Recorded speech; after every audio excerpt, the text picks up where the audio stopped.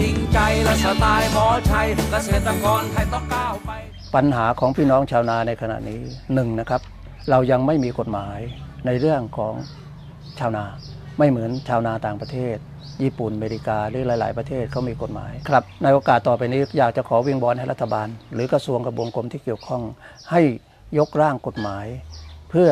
เป็นกฎหมายของชาวนา เหมือนชาวนาต่างประเทศ ครับนี่ตรงนี้ ชาวนาเราเนี่ยตั้งแต่อดีตถึงปัจจุบันเนี่ยไม่มีกฎหมายคุ้มครองเลย ฉะนั้นจึงเป็นปัญหากับชาวนาเป็นอย่างมาก สารพัดทุกเรื่องที่มีส่วนเกี่ยวข้องในภาคการเกษตร ตั้งแต่ที่ดินทำกินปัจจัยการผลิตผลผลิตนะครับตรงนี้สูงมาก ในเรื่องเรื่องราคาก็ไม่เป็นธรรมเท่าที่ควรนะครับที่ผ่านมาจะมีแต่รัฐบาล แต่รัฐบาลนั้นก็ช่วยเหลือเราบางทีก็โครงการประกันรายได้ ก็ไม่สมที่เรา ได้รายได้ เพราะต้นทุนเราสูงผลผลิตเราต่ำก็นโยบายนี้ไม่สามารถที่จะช่วยเหลือพี่น้องชาวนาให้อยู่มีความฐานะอย่างดีได้ ผลสุดท้ายก็มารัฐบาลนี้ก็มีโครงการรับจำนำนี่ครับโครงการรับจำนำนี้รู้สึกว่าเป็นผลดีกับพี่น้องชาวนามาก ชาวนาทั่วประเทศมีความพอใจมากในเรื่องโครงการรับจำนำข้าวนะครับ นี่คือที่ชาวนาพอใจครับ ในโอกาสนี้ผมก็ขอขอบคุณรัฐบาลที่มีนโยบายนี้นะครับ เพื่อจะช่วยเหลือพี่น้องชาวนาให้อยู่รอดในโอกาสต่อไปครับครับมีครับมีประโยชน์ครับขอโครงการรับจำนำมีประโยชน์กับชาวนามาก และทางนี้ก็มีทั้งผลเสียอีก คือรัฐบาลอาจอาจจะขาดทุนนะครับทำไมถึงขาดทุนก็คือมาช่วยเหลือ แต่ทั้งนี้ทั้งนั้นการขาดทุนตรงนี้มีที่มีที่มาที่ไปอีก คือหมายความว่าขาดทุนแล้วก็ได้ รัฐบาลก็จะได้ย้อนหลังกลับอีก ย้อนหลังอย่างไร คือเช่น เกษตรกรก็มีแรงเงินซื้อ ก็เช่น เครื่องใช้ไฟฟ้าเครื่องทุกอย่างที่ต้องจำเป็นต้องใช้ประจำวัน หรือเครื่องมือทำการเกษตร หรืออะไรรถยนต์บ้างอะไรบ้าง ก็ต้องมีเงินซื้อส่วนใหญ่ของประเทศ อาจจะขาดทุนตรงนั้นส่วนหนึ่ง แต่ภาพโดยรวมแล้วรัฐบาลก็เก็บภาษีได้ทุกอย่าง เช่น รถยนต์ภาษีรถยนต์เช่นอะไรทุกอย่างเนี่ยพอเกษตรกรส่วนใหญ่ของประเทศเนี่ยมีเงินจับจ่ายซื้อของ ก็อาจจะมีการส่งหนี้ทกสก็ไม่ต้องมาติดลบกัน ก็จะช่วยทางอ้อมได้นะถ้าโครงการที่ผ่านมาเมื่อแรกประกันรายได้ ผมก็แย่มาก ตอนนั้น ผมขาดทุนมาตลอด เกี่ยวกับโครงการจำนำข้าวของรัฐบาล ผมว่าเป็นโครงการที่ดีนะฮะเกษตรกรได้ผลประโยชน์เต็มเม็ดเต็มหน่วย แต่ก็เกษตรกรก็มีผลกระทบบ้างบางส่วน เกี่ยวกับหนึ่งการออกใบประทวนล่าช้าสอง ทกสจ่ายเงินล่าช้า ลงสีไม่ออกใบประทวนให้ เกี่ยวข้าวไปเดือนสองเดือนมันมันบางทีเงินมันได้ล่าช้ามาก เพราะว่าชาวนานี่บางทีเกี่ยวปุ๊บต้องเอาเงินไปจ่ายค่าเช่านา จ่ายค่าปุ๋ยค่ายา ผมอยากจะวิงวอนให้รัฐบาล ช่วยวางมาตรการให้เร่งรัดการออกใบประทวนการจ่ายเงินให้กเกษตรกร เพราะว่าคือถ้าทำไวนโยบายของรัฐบาลดีแล้ว แล้วก็จะมัดใจเกษตรกร แต่ถ้าเกิดนโยบายดี การปฏิบัติไม่ดีล่าช้า ผลกระทบมันก็จะเกิดขึ้นนะครับ ก็ขอให้หน่วยงานทุกหน่วยงานเนี่ยทำงานให้มันกระกระเต็มที่นะครับ แล้วก็โครงการที่ประกาศไว้นโยบายที่ประกาศไว้ก็ขอให้เดินตามนั้นแหละครับ ดีแล้วเกษตรกรชาวนาเราได้รับผลประโยชน์ครับเราก็ได้ฟังทั้งท่านเจ้าสัวธนินนะคะ รวมไปถึงชาวนาเป็นพี่น้องที่เรียกได้ว่า ชีวิตเขาอยู่กับการเกษตรอย่างแท้จริงเลยนะคะ มุมมองวันนี้ได้สะท้อนกันแน่เดี๋ยวเรามาคุยถึงประเด็นเหล่านี้กันดีกว่าค่ะคุณหมอ เพราะว่าท่านเจ้าสัวเน้นย้ำอย่างที่บอกว่าท่านไม่เข้าข้างใครนะคะ แล้วก็จริง ๆ แล้วสำคัญคืออยากให้ประเทศไทยของเราเนี่ยมีการกระจายรายได้ เงินมันไม่ได้ออกไปไหนครับคือคนไทยเรามีกำลังซื้อเงินมันก็จะวนอยู่ในประเทศไทยนี่แหละใช่ครับณใช่ไหมปู่คะคุณหมอมีความคิดเห็นเรื่องต่างๆ เหล่านี้ยังไงบ้างอะคะคือก่อนอื่นเลยคุณปู่ผมต้องขอแสดงความชื่นชมค่ะ ในน้ำใสใจจริง ของท่านประธานธนินเจริญวนนท์ค่ะ เพราะว่าต้องพูดตามตามตรงเลยนะคุณปู่นโยบายการรับจำนำข้าวอืมเป็นเหตุให้ต้นทุนของข้าวสารเนี่ยมันสูงขึ้นค่ะ ใครที่ทำมาหากินทำธุรกิจเกี่ยวกับการค้าข้าวสาร ไม่ว่าจะส่งออกอืมหรือค้าในประเทศ ซื้อข้าวสารมาบรรจุถุงขายค่ะนักธุรกิจพ่อค้ากลุ่มนี้ ย่อมจะต้องเผชิญกับการโจทย์ที่ยากขึ้นอืมเพราะค่ต้องซื้อของแพงขึ้นค่ะ ไปขายจะทำกำไรมันต้องขายให้สูงขึ้นค่ะขายแพงขึ้นมันรู้จะขายได้ดีเท่าเดิมไหม ในเครือเจริญโภคภัณฑ์ซีพีก็ได้รับผลกระทบด้วยเช่นกัน ก็ต้องซื้อแพงขึ้น โดยเหมืนอกัโยบายนี้เนี่ยจริง ๆ ธุรกิจของท่านประธานธนินค่ะก็ประสบปัญหาเช่นกันใช่เผชิญกับปัญหาเช่นเดียวกับพ่อค้าส่งออกค่ะเช่นเดียวกับพ่อค้าข้าวสารในประเทศอืมแต่ฟังดูดิครับค่ะท่านกลับเห็นด้วยอย่างยิ่งอืมเพราะอะไรฮะ เพราะว่าผมจับประเด็นดูนะครับว่าค่ะ มุมมองการปฏิรูปเศรษฐกิจที่ท่านประธานมองเนี่ยจุดยืนที่มั่นคงจริง ๆ ก็คือ จะทำอย่างไร ให้ประเทศไทยมีการกระจายรายได้ ค่ะ ไปถึงพี่น้องประชาชนกลุ่มที่ด้อยโอกาส อืม ท่านประธานมีพูดไปถึงเรื่องแรงงาน 300 บาท ค่ะ ว่าเป็นคนอีกเป็น 10 ล้านคน อืม ถ้าไม่ให้ค่าแรงเขาอย่างยุติธรรมกำลังซื้อในประเทศจะไม่มีทางขยับ ค่ะ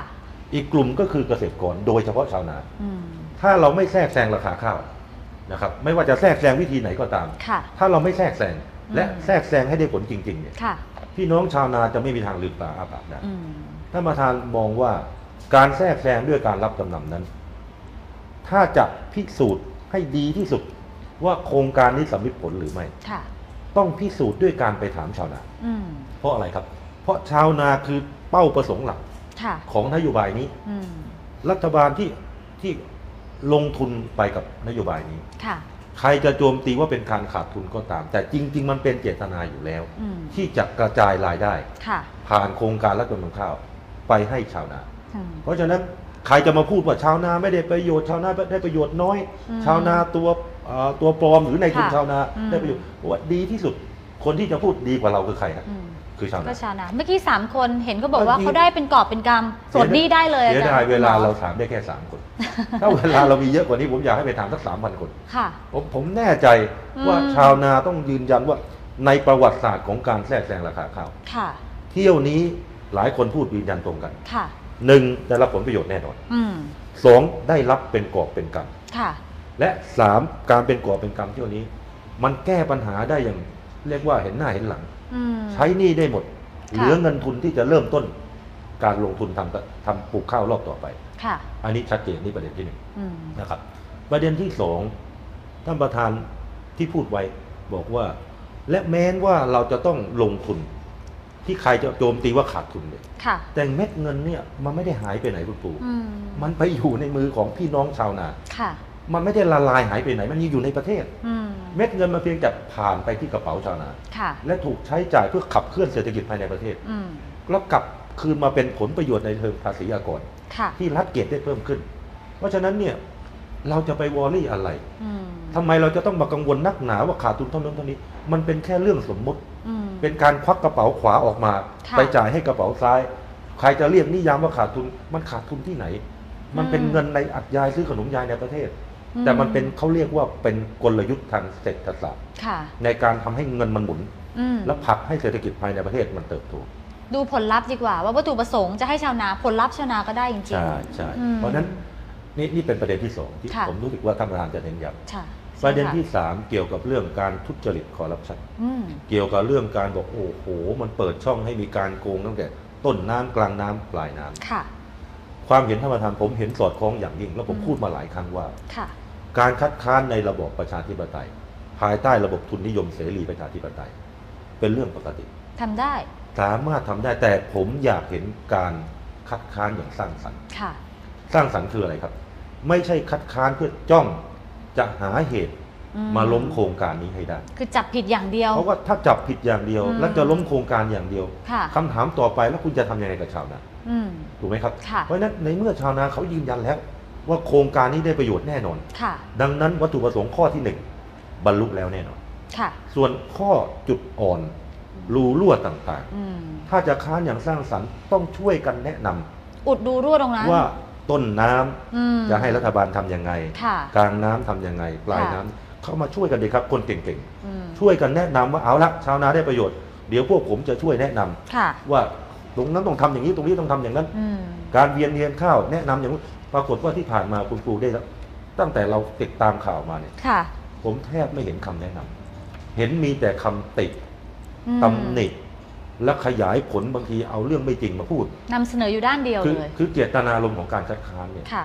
มันเป็นการคัดค้านเพื่อจะล้มโครงการอืมไม่ใช่ค่ะคัดค้านเพื่อจะบอกว่า เออโครงการนี้ ดีบางส่วนนะชาวนาค่ะได้ประโยชน์อ่าแต่อาจจะมีรูรั่วบ้างรูรั่วพวกนี้รัฐบาลระวังนะครับอืมที่ทำไม่ดีนะ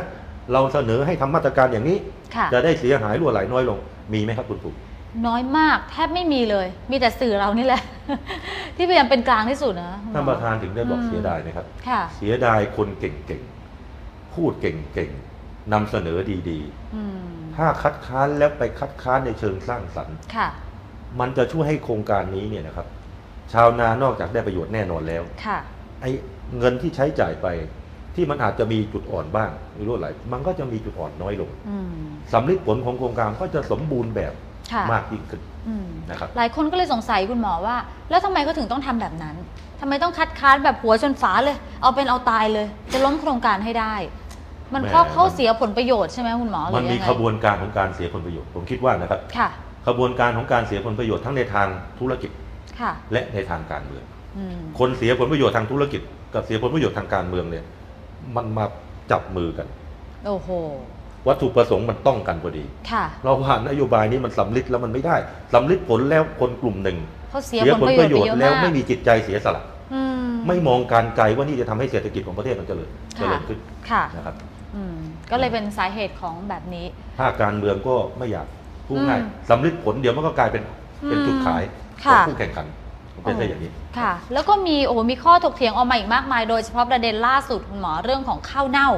โอ้โห เป็นประเด็นว่าข้าวที่เก็บไว้นานขายไม่ออกในโกดัง นอกจากโกดังจะไม่มีประสิทธิภาพดีพอแล้วเนี่ยนะคะ ในการเก็บข้าวพอข้าวเก็บไว้เจอเชื้อโอ้โห อะไรนะที่ aflatoxin ด้วย aflatoxin อ่าเชื้อที่จะเป็นสารพิษจากเชื้อรา เป็นมะเร็งที่ทำให้เราเป็นมะเร็งตับได้